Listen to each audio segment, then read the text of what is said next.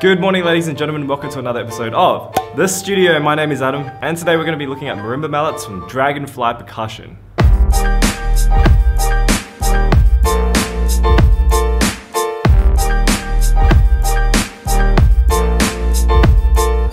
Now, Dragonfly Percussion is a brand that not a lot of people are familiar with because they're one of the smaller brands out there, but they are from Buffalo in New York. Basically, they make marimba mallets, vibe mallets, Glock mallets, stick bags, all the usual sort of stuff, but just in smaller quantities. I decided to take a look at these. They're marimba mallets. I don't own these. These are Jordan's. He's very kindly lent them to me for the show. Thank you, Jordan. If you don't know who Jordan is, he's this guy. These mallets attract a lot of attention because they're rubber cores that are wrapped in cloth and they have these little bands on the bottom to indicate hardness. It's a very unique design and it's supposed to be a middle ground between rubber mallets and woven mallets. Low key, it actually got to a point where I started calling these sack mallets because they look like little potato sacks. I mean, if you rotate it this way, they're essentially money bags.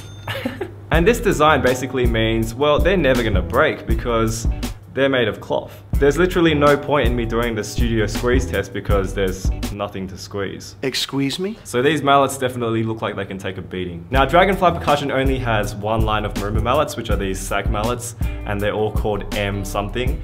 Uh, they go from M1 to M6. M1 is the softest, M6 is the hardest. And here I've got the M2, which is a medium soft pair, what I think is the M4, which is a medium hard pair, and the M5, which is a hard pair.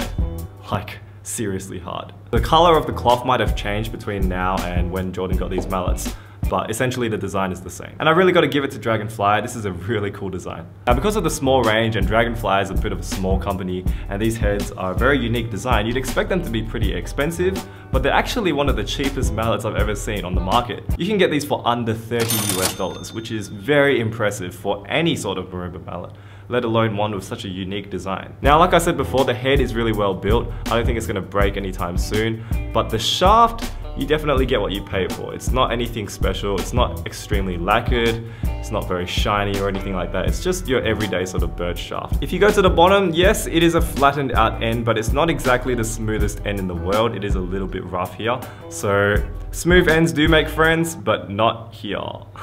And in the middle of the shaft, you have the Dragonfly percussion logo, which has been stamped by the looks of it because they're all slightly different angles. It's not engraved, nothing fancy. And interestingly, they don't put the model number on the shaft, so Hmm. But for the price, it's totally acceptable, totally robust. I don't see any problems coming out of it for build quality's sake. I kind of wish that the shaft was a little bit smoother, but you could always tape it, so that doesn't really matter. So build quality wise, good job Dragonfly. Now that's all well and good, but what about ergonomics? These mallets are heavy.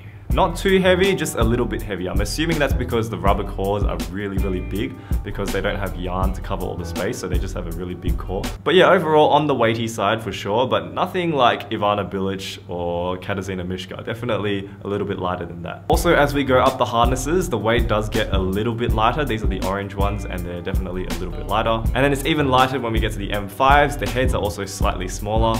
So yeah, overall not a huge variance in weight, but there is a little bit of variance. So if you don't like your mallets having different weights, you might be a little bit disappointed. but again, not a big difference. We're talking about mallets that are under 30 US dollars here. So the fact that the weight profile is relatively similar is pretty impressive. Again, length is definitely pretty standard. The rough end at the bottom does disturb me a little bit sometimes, but because it's flat, it's not so bad when you're doing like Stevens grip or whatever. It should be fine. Now, in terms of sound, the Dragonfly mallets, because of this head design, they tend to have more of a loud, articulate, in-your-face sort of sound profile. There's not so much warmth, there's not so much depth to the sound, it's more like bang, bang, bang, bang, bang. And that's not a bad thing, you know? Like, there are a lot of situations where bang, bang, bang, bang, bang is a good thing. Again, as always, I will let you decide first. Here is the sound test. There is a little bit of a vibration in the background. Sorry about that. I don't know what it was. It just freaked me out. I walked around the studio for like 20 minutes trying to find out what it was.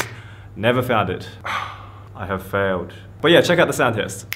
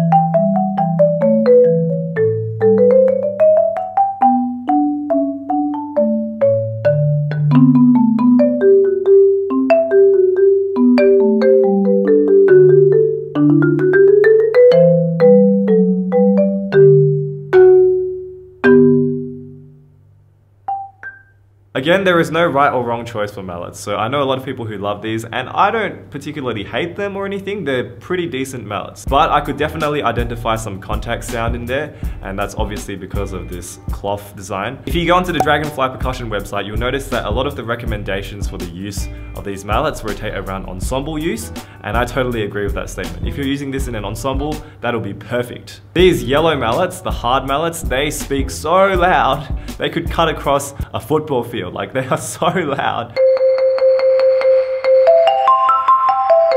I personally wouldn't use these for solo marimba, but there might be a situation where you need in-your-face mallets, and if that's the case, this is the one to get. I don't know why I put that accent on, it sounds horrendous. Please leave me a thumbs up if you enjoyed this video, it means a lot to me. And leave me a comment telling me what you think about the Dragonfly percussion mallets, or if you want to suggest something for the next episode, let me know. I'm really pleased that the Technique Talk video, which was the last episode, went really well. If you want to check that out, that's over here. Ah, wrong side. And as always, please hit that red subscribe button if you haven't already to keep up with my uploads. Share this video to your friends or anyone that you know that's interested in percussion because I always make videos for you guys. And with that, thank you so much for watching and I will see you next week for another episode of The Studio. Good night. So lame.